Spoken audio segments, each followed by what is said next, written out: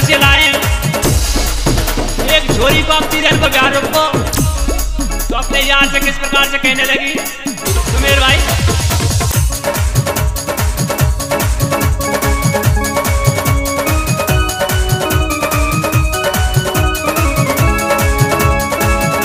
jalebi